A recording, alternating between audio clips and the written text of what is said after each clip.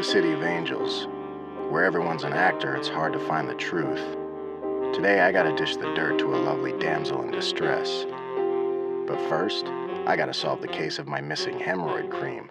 My ass is killing me. I am Jack Quartz, TMI PI.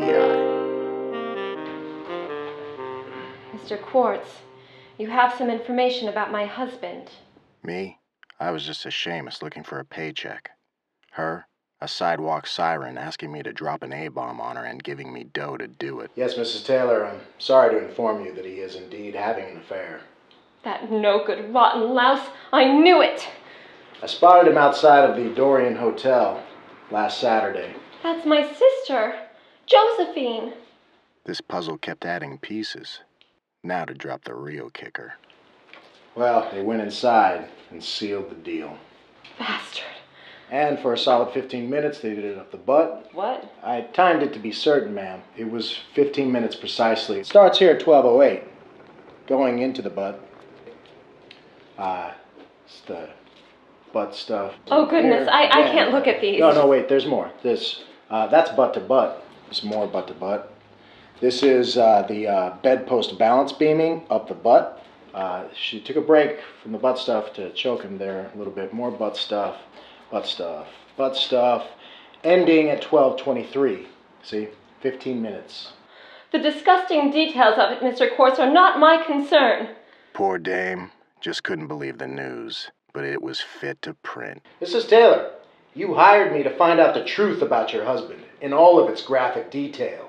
There's only a certain degree of truth that I need to hear. Well, that leads me to my next bit of ham and eggs. A couple days later, I tailed your husband to a private club owned and operated by Frankie Fakebeard. The gangster? The very same sugar doll. You know, word on the street is he's got a pretty weird marble bag. Marble bag, Mr. Quartz? Yes, his scrotum, ma'am. He's got a weird nutsack. Oh, Whatever you want to call it, I had to find out for myself, so I snuck into the club to take some additional photos I got in here. You can really see how weird his nutsack why is. would, why would you do that? Well, to find out the truth, ma'am. Well, it appears that's all the information you have on my husband. Oh no, there's more. See, your husband, he made a small fortune inside Frankie's club that night. He's quite the skilled gambler. Well, that lech is just full of surprises. Now the part of the job I hate. Putting sour milk in her birthday soup. Another big surprise is that he spent most of his winnings that night on a high priced prostitute known around town as Sanchina. I think I'm going to be sick.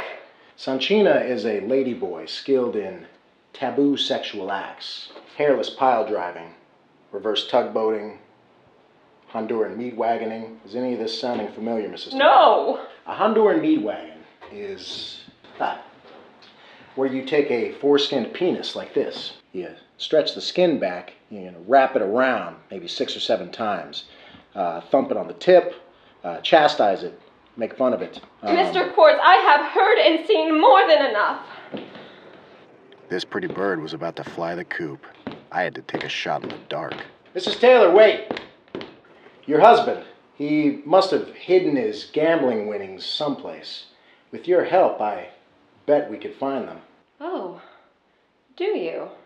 That moment, I could see a new life for Mrs. Taylor. Funny part was, I was in it. No more gum gumshoeing. We'd run off. Get hitched, do the whole white picket fence thing together. She'd never judge me for my micro penis. She'd never say, Jack, you spend too much time at children's museums. In fact, in time, maybe we could ride the Honduran meat wagon together. Mr. Quartz!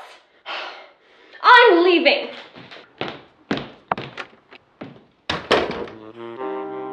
Looks like for now, I'll have to remain Jack Quartz, TMI PI.